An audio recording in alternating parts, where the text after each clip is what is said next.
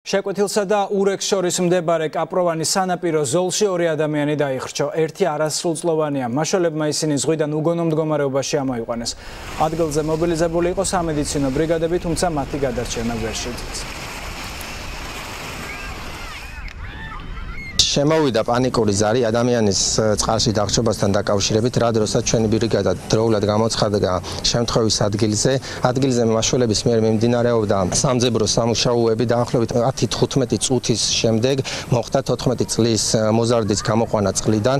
ჩვენს მიერ პირველადი შეფასების შედეგად მოზარდს არანაირი სასიცოცხლო ფუნქციები არ აღენიშნებოდა.